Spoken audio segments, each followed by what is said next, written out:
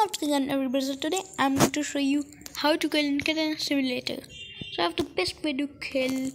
So you need to do like this and after it you need to get PvP. So you need to zoom yourself like this and this will help you a lot to kill. Did you just see how I just killed them okay?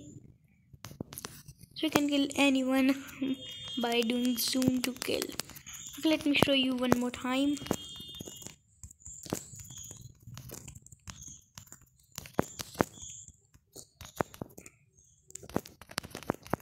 So you can do this trick to kill. Go back and kill okay?